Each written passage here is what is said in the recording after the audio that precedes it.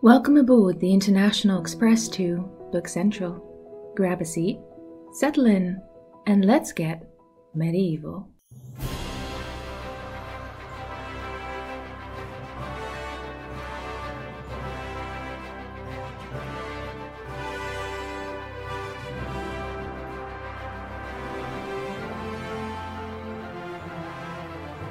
Welcome to a special feature of Book Central. You see, when I'm not reading or recording this podcast, I'm a medievalist. In the real world, I research and analyze medieval literature, specifically the texts written in Old Norse and Old English between the 7th and 14th centuries.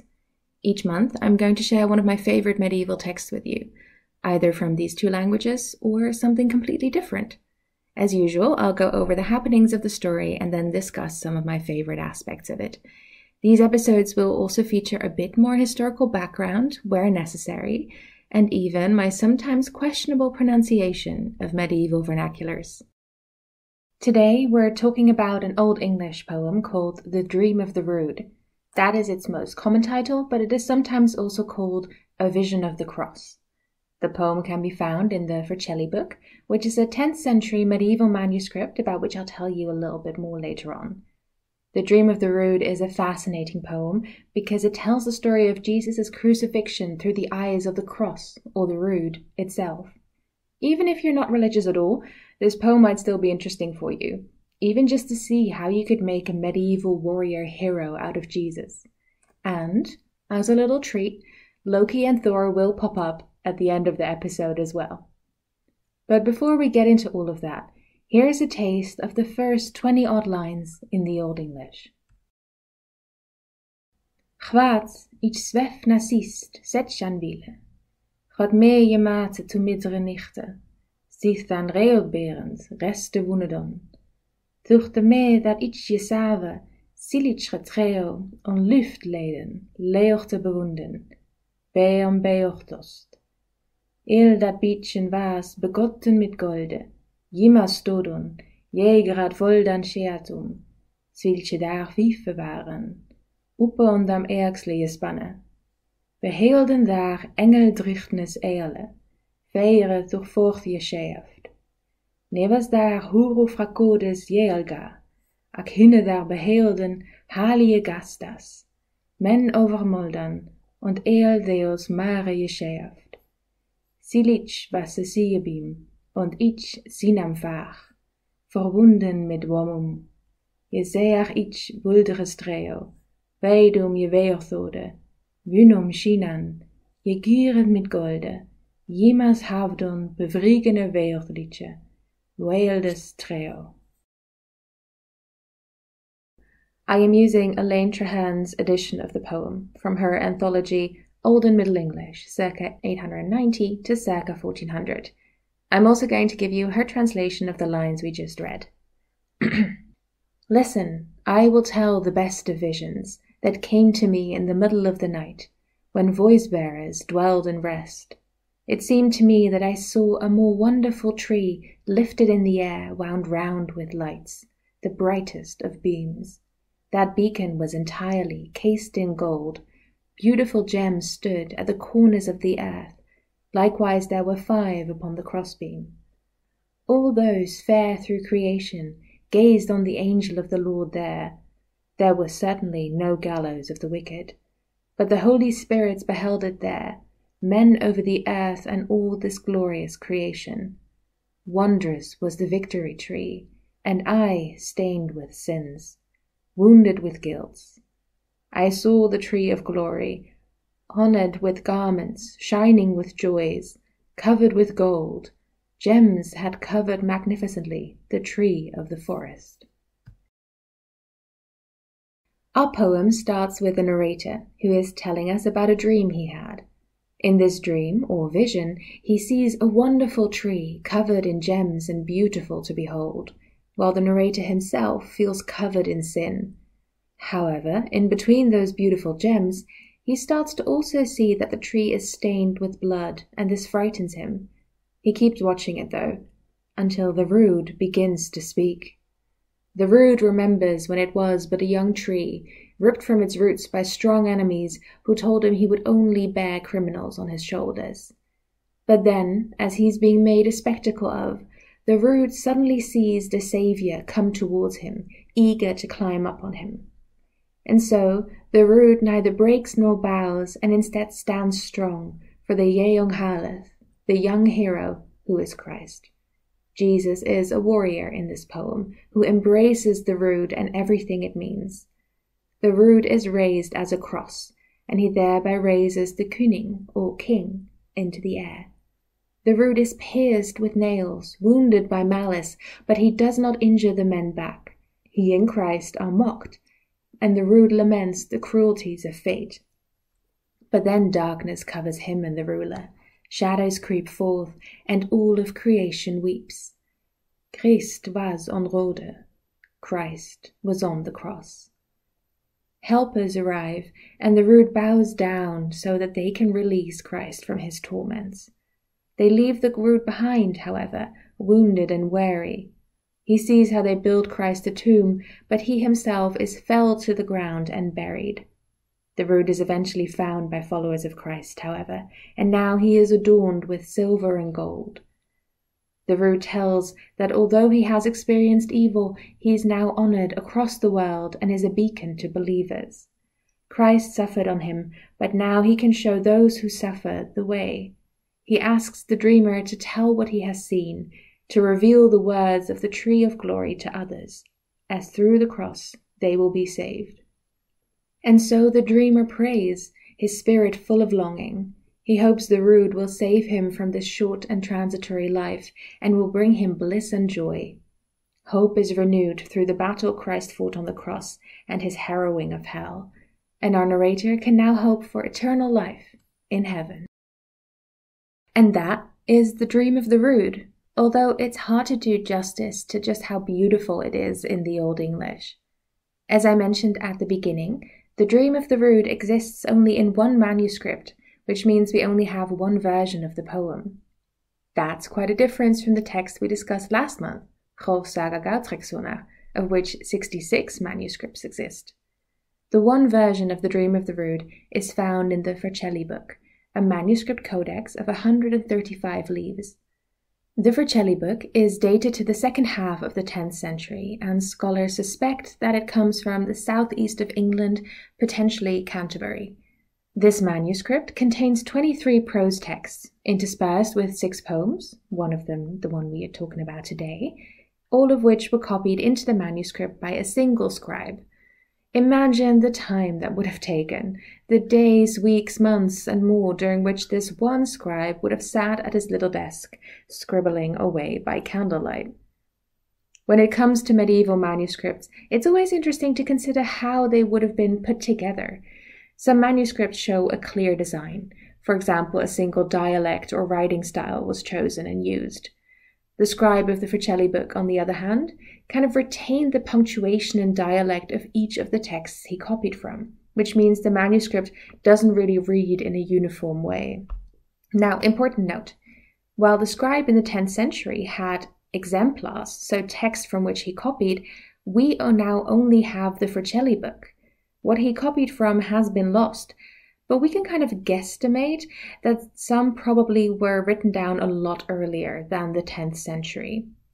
Although there may be no formal arrangement of the texts and no uniform approach, each of the texts in the Vercelli book does contain a monastic or religious theme, which suggests that the compiler might have wanted to demonstrate the worthiness of their own religious, ascetic life. You might ask yourself now why a manuscript codex written in the south of England in Old English, is called the Vercelli Book. We're not entirely sure how this manuscript ended up in Vercelli, which is a city in northern Italy, not too far away from Milan.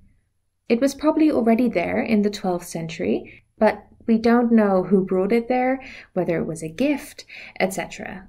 It was only rediscovered in the Vercelli Library in the 19th century, where it had been gathering dust in all the previous centuries. Thankfully, now a large part of it is digitized, so you can see it online at the Old English Poetry in Facsimile project, to which I'll link in the description. While Beowulf was my first and my most long lasting Old English crush, The Dream of the Rood quickly became something of a favorite for me as well. It became a favorite to such an extent that I wrote an entire BA thesis about it. But I, I won't read out my entire thesis to you, don't worry. I do just want to mention one or two things, though, as I'm sure you can imagine. In order to do that, I need to introduce you to a term, and that term is syncretism.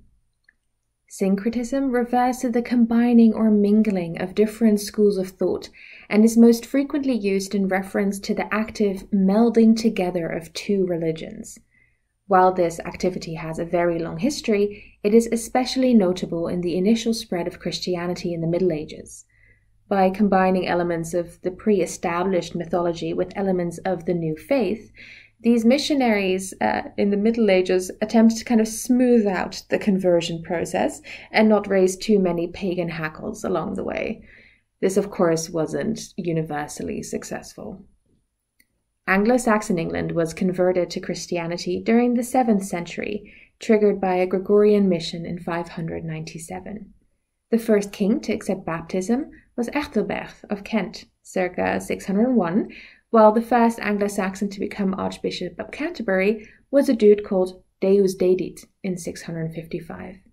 Conversion is a process, not a one-time thing. If a king becomes Christian, his people technically do as well, but just because something is proclaimed doesn't mean it actually happens. Conversion takes time as traditions change and stories begin to adapt. Old English literature dates roughly from the 7th century, when conversion began, to the 11th century, specifically kind of 1066 as a cutoff point, when the Norman invasion produced such a strong cultural shift that Middle English came about and different kinds of genres and texts were written. So, in the Old English literature we have, we can see glimpses of these Anglo Saxons trying to work out how their previous beliefs fit into Christianity. And this brings us back to the Dream of the Rood. First, some basic facts.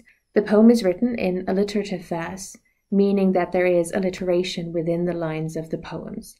For example, in the fifth line, on Luft Leoden, Leorte bewunden, you can see the alliteration with the letter L, which binds together the ideas of the cross being lifted in the air, lift, and it being adorned with Leorte, light. Old English poetry is also very fond of kennings, which are figures of speech, which we also find in Old Norse poetry, in which figurative language is kind of used to describe something else. It's like using a very fancy way of saying something basic. An example of this is in the fourth line, where the poem speaks of Reorberend, which means voice bearers. The poem is talking about men, sleeping, but rather than just use men, the poem uses reorberend to kind of adorn the poem and to allow for alliteration on the letter R within that line. Old English poetry also usually has a pause known as a caesura in the middle of a line, which I've kind of tried to emphasize in some of the line readings at the beginning. The alliteration then unites these two halves of the line together, tying the different things being mentioned or discussed into a cohesive whole. As you maybe also noticed, the poem can kind of be divided into three different sections the beginning, where we hear about the dreamer, the middle, where the cross tells us a story, and the end, where the dreamer kind of hopes and prays for a better future. Scholars have argued extensively, as they're wont to do, about these sections, what they mean, and what falls into which section. I think I agree with Del Mastro who suggests that they're not so much sections as concentric circles. Think of the dreamer as the circle on the outer edge, with the story of the rood as the one closer to the center, and the story of Christ himself at the very center of the poem. As we go through the poem, we travel into these circles and then back out of them again. First, we hear from the dreamer, then from the cross, then we hear about Christ, then we go back to the cross, and then we end up with the dreamer again.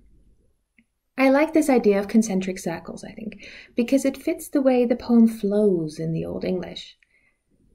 Also, dream narratives were incredibly popular as a frame device during the Middle Ages, with some of the most famous texts like Roman de la Rose using it as well.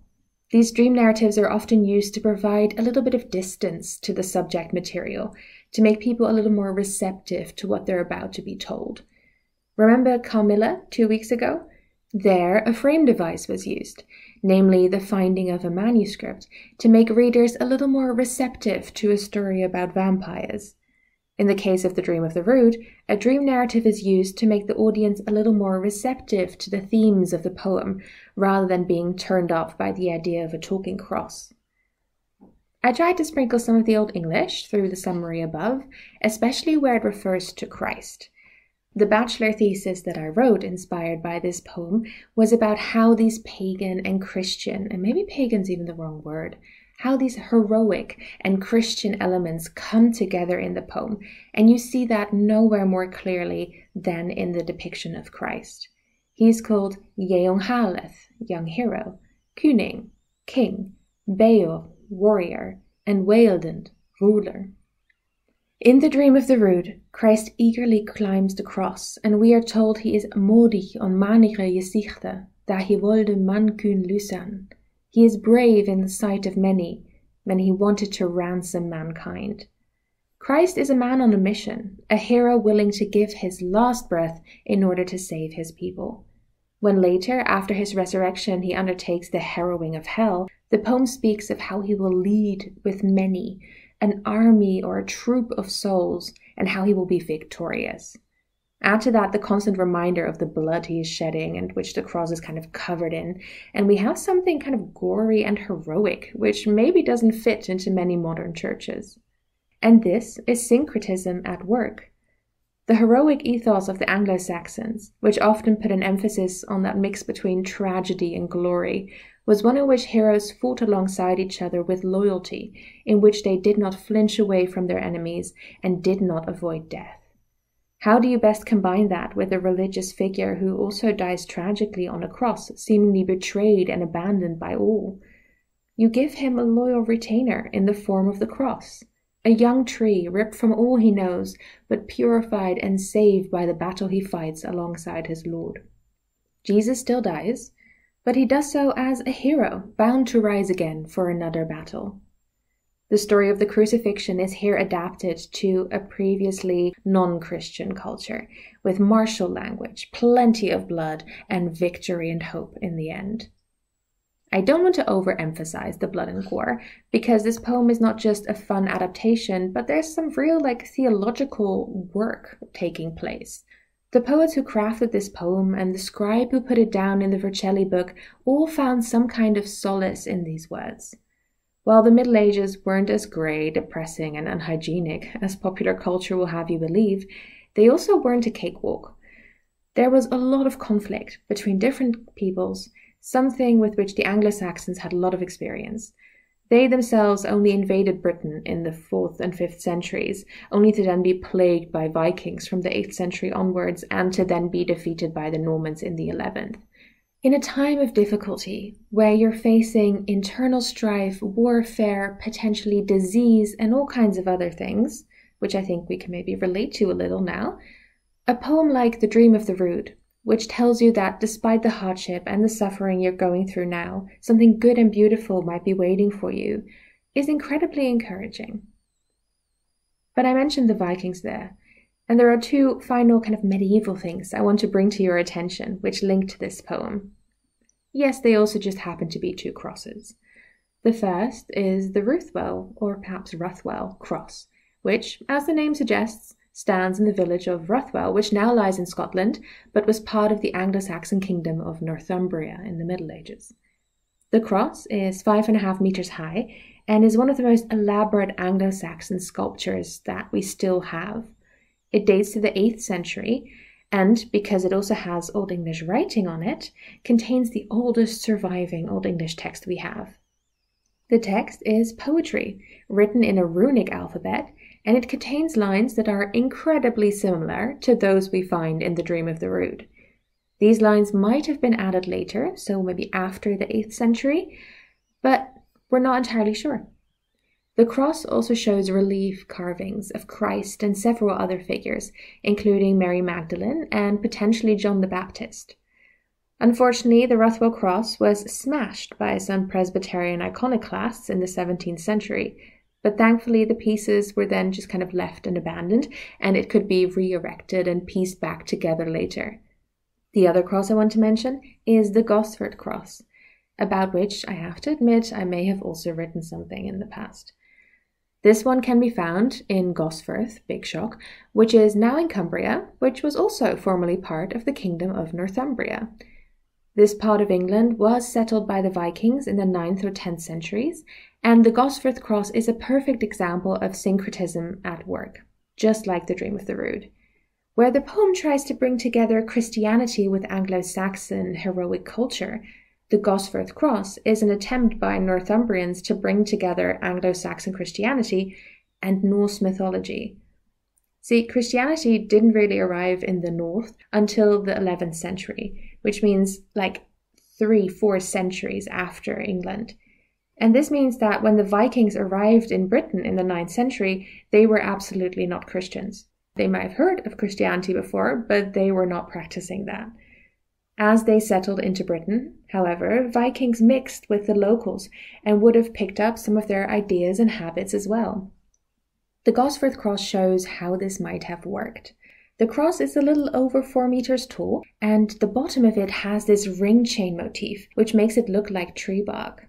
This could be Yggdrasil, the world tree, perhaps. You can't help but wonder. Or maybe it's a tree of life from the Bible. From there, it gets a little bit weirder, though. About halfway up the cross, a little above your normal kind of eyesight, there is a crucifixion scene, which will probably strike most of us as being very Christian. But there is a woman pictured below him who looks just like the Valkyries do on some Viking Age carvings discovered in Sweden. Could it perhaps be not Christ, but the god Balder, whose death starts Ragnarök before he is reborn in the new world? Perhaps you're thinking, nah, that's definitely Christ. But what about Fenris Wolf fighting the god Vidar on the other side of the cross? And what about Loki bound in chains made of guts and intestines? And what about Thor trying to catch Jormungandr, the Midgard serpent, all of which is shown on this cross as well? All of that on a four meter cross, smack bam in the middle of a cemetery next to a lovely little church in Cumbria. While we don't know who made these two crosses, even if we might have something of an idea of a sculptor who was very prolific in Northumbria. And while also we don't really know who first thought up the dream of the rood, they're both excellent and fascinating little insights into the minds of people who lived hundreds of years ago. The people of the Middle Ages weren't necessarily some super fanatical followers of Christ who mindlessly accepted everything they were told was in the Bible. They heard the stories, they thought about them deeply, adapted them to suit their own culture, and perhaps gained some solace out of them in difficult times. And perhaps some of them thought that it would also be quite funny to have Jesus next to Loki on a cross. What can I say? Even people in the Middle Ages had a sense of humor. I was raised Christian, and would still call myself one, even if my faith is pretty unorganized and personal. But the Dream of the Rood speaks to that part of me. But it also speaks to my love for the heroes of old, for their loyalty and endurance, and to my love for the beauty of language.